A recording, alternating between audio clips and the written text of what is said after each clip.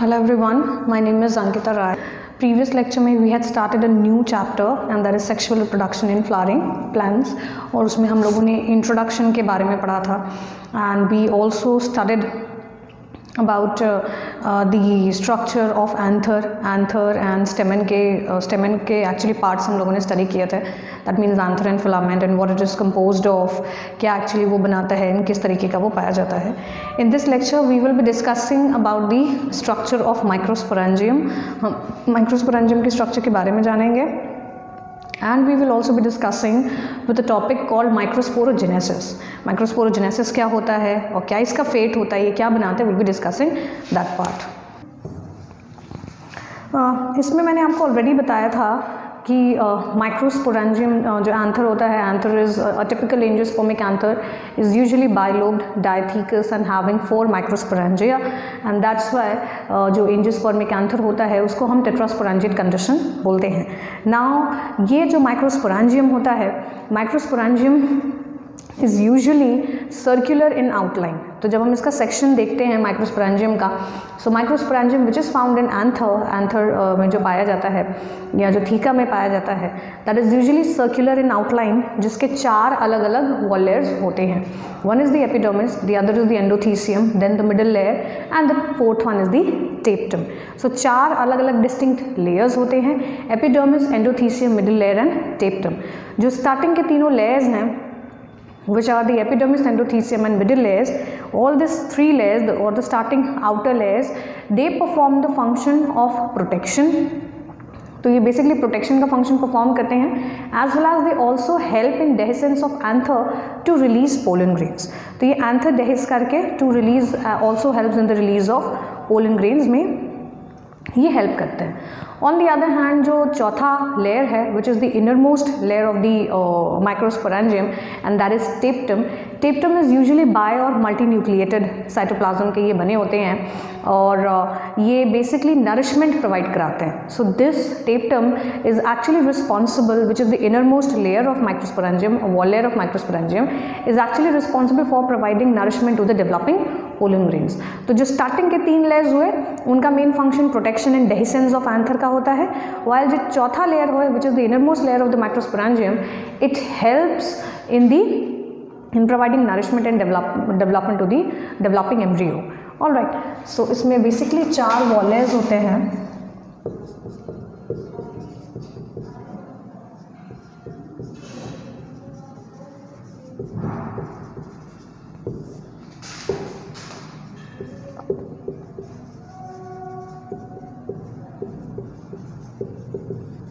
So microsporangium which is actually circular in section has four distinct volumes.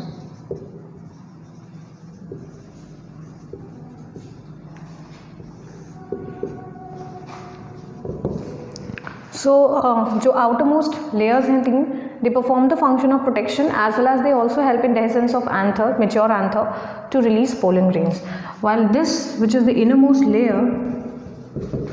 all right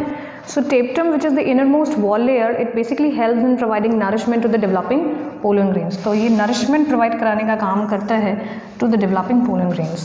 so अगर हम इसका एक you know एक section बनाएँ या एक figure बनाएँ so it looks like now this is the epidermis this is endothelium middle layers and this is the tapetum. And inside tapetum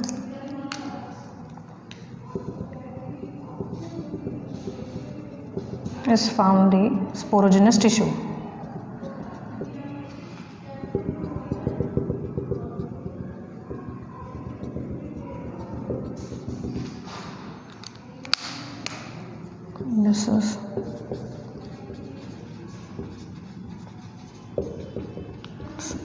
sporogenous tissue, and this is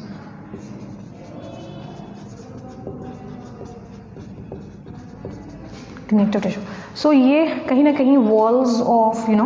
microsporangium को indicate कर रहा है that outer most is epidermis then endothecium then middle layers and then tapetum tapetum के अंदर में there is a distinct tissue present called sporogenous tissue जब हम microsporogenesis मैं एक्सप्लेन करूँगी तो the things will get clear and इसी spore this sporogenous tissue actually acts as precursor for producing the future pollen grains and this is the connective tissue जिसके through वो जो दो ठीका होते हैं, वो बेसिकली कनेक्टेड होते हैं. So this is the wall of sporangium और अगर जब हम इसको, इसका प्रॉपर हम जब यू नो फिगर देखते हैं so it's more less like इसका, अगर हम मैं एक और तरीके से बनाऊँ so it would be something like तो if I take a small section और cut a small section of this portion तो ये कुछ इस तरीके का दिखता है। दिस इज़ एपिडोमस एक्चुअली ये एंडोथीसियम हो गया। This one middle air and this is the tissue tapetum consisting of sporogenous tissue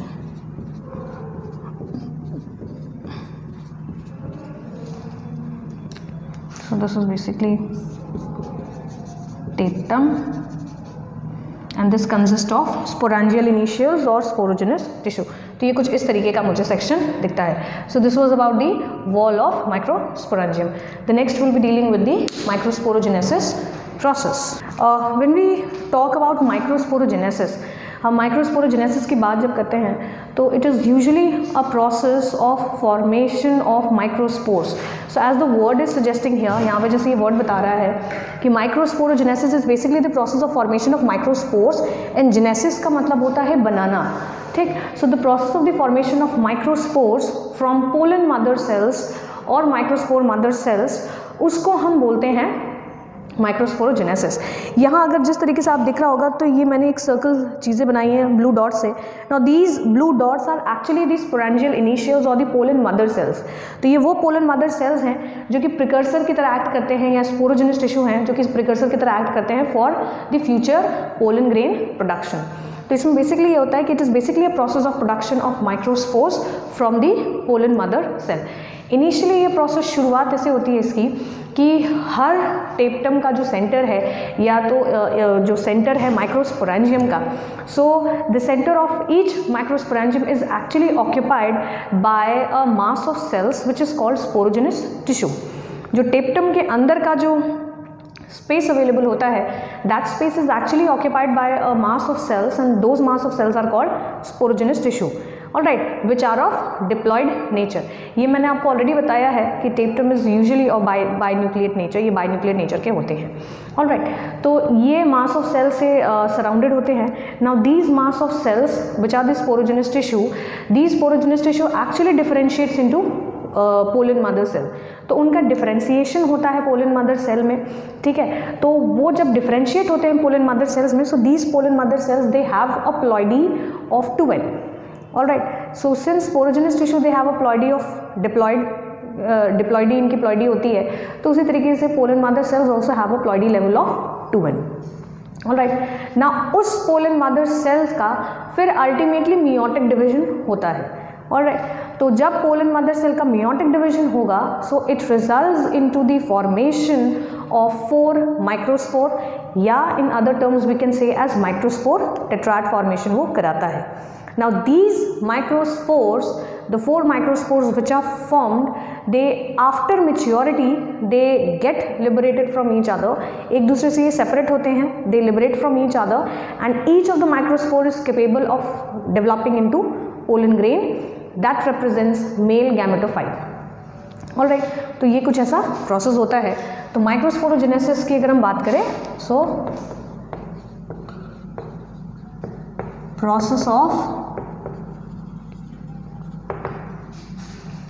formation of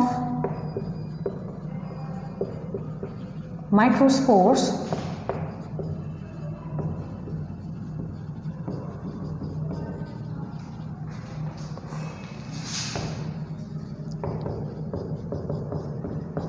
from pollen mother cells which are shortly termed as uh, PMCs. Now ये जो formation होता है this formation actually takes place through meiotic division through meiotic division. So the process of the formation of microspores from pollen mother cell through meiotic division in the pollen mother cell is called microsporogenesis. Now what are the steps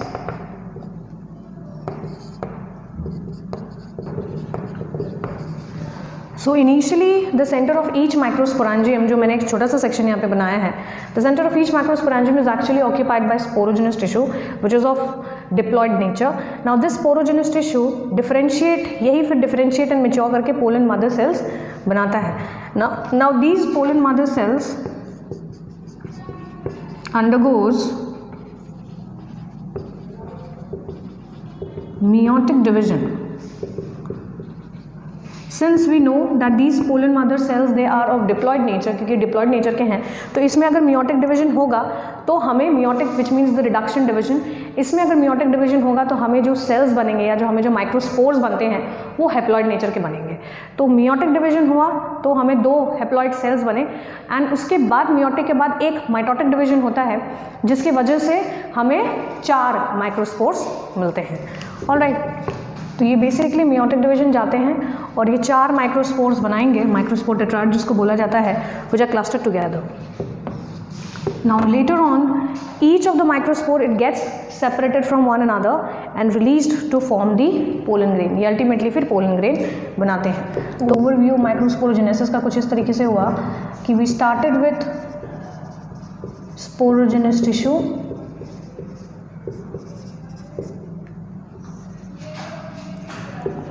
इसका हुआ differentiation so that formed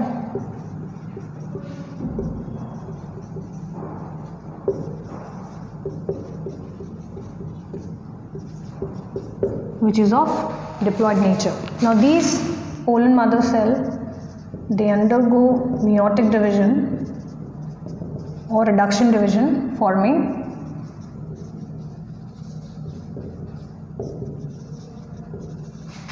microspore tetrad ये कुछ इस तरीके का बनाते हैं।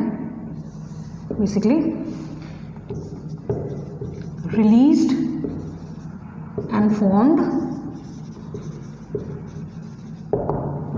pollen all right तो ये कुछ एक सिक्वेंशियल स्टेप्स है जो मैंने यहाँ स्टेटमेंट में लिखा। This the overview of microsporogenesis so when we talk about pollen grain pollen grain is actually ये एक्चुअली रिप्रेजेंट करता है मेल गैमेटोफाइट को. एंड ये pollen grain is usually of light in colour light colour का होता है. And it's very light weighted that can be easily you know blown off by wind and spherical in shape होता है having a size of 25 to 50 micrometer in diameter का इनका size होता है. जब इनके वॉल्स की बात करते हैं वॉल्स ऑफ़ पोलन ग्रेन की बात करते हैं so they have two wall layers the outer wall layer consist outer जो इनका वॉल लेयर होता है, वो हार्ड एंड थिक होता है. और you know sporopollenin kind of a chemical substance organic chemical substance है स्पोरोपोलेनिन उसका बना होता है. वाइल जो इनका इनर लेयर होता है, वो थिन होता है and it is made of cellulose in pectin वो सेलुलोजन पेक्टिन का बना होता है। So outer wall layer has the presence of certain you know they has the presence of certain graphic designs वो कुछ ऐसा you know because because of the presence of sporopollenin it has the presence of certain graphic designs and textures while जो inner layer होता है, वो actually में smooth होता है। Fine so if you talk about pollen grains so basically it represents male gametophyte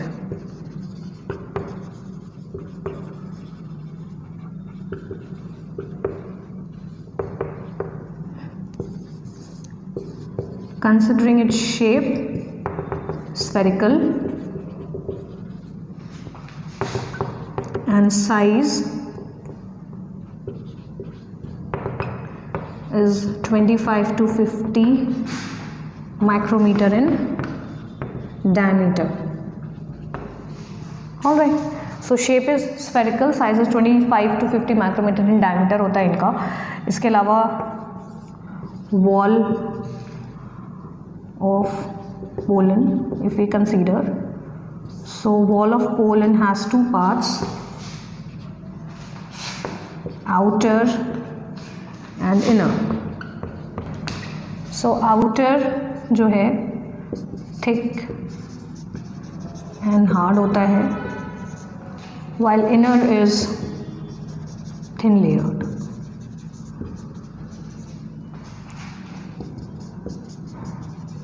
made of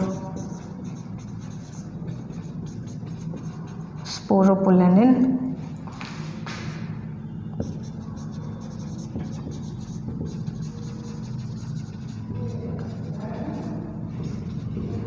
and this is made of cellulose and pectin. Have textures on its surface.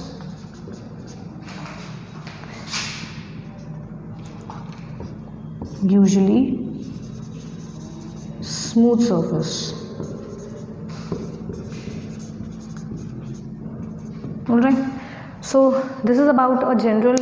introduction of pollen grains जो कि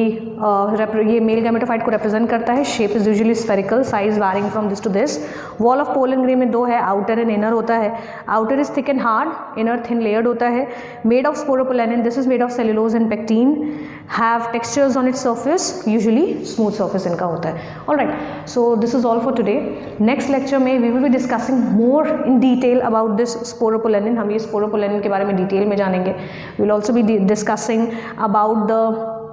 inner contents और inner cellular arrangement के बारे में हम जानेंगे pollen grains के कि कौन सा पोलन ग्रेन्स के अंदर में किस तरीके का सेलुलर अरेंजमेंट होता है and what what you know जो पोलन ग्रेन्स होते हैं वो किस तरीके से हेल्पफुल होते हैं uh, और किस तरीके का अगर ये you know what what are the kind of allergies being cause by them pollen allergy भी होता है जो उनकी वजह से कॉज होता है वाइबिलिटी ऑफ़ पोलन ग्रेन्स क्या होती है? So will be discussing this in detail in the next lecture Thank you.